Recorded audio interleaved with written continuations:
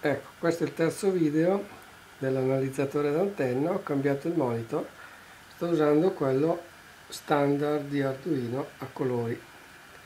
Queste sono l'analisi dell'antenna con uno sweep molto elevato tanto per dare un'idea delle capacità grafiche.